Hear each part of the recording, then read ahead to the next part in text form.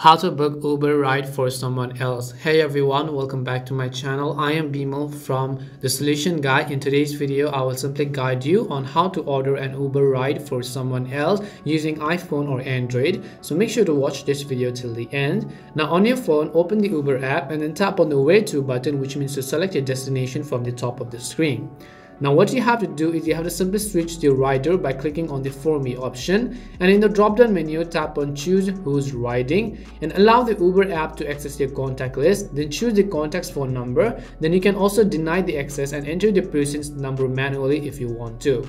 A new window appears explaining the terms and conditions of this feature so ensure that you read everything and tap on accept. In the new form that appears fill in your friend's first and last name then tap on continue. The Uber app now has your friend's phone number and full name. The Uber driver also sees the information that you enter, so ensure that you enter everything correctly. Next, enter the location where the Uber driver should pick your friend and then choose where they should drop them off. You will also be able to select between Uber X, which is a cheaper option, cars that seat 4 or more people, and Uber XL if your friend needs a larger vehicle, minivans, and SUVs. To complete the process, just tap and confirm Uber X or XL. Now your friend or family member then receives a link to a real-time Uber tracker so they can monitor the vehicle's exact location while they wait. And that's all it takes to book Uber for someone else. We hope the video was really helpful and if it did help you, make sure to leave a like and subscribe to our channel.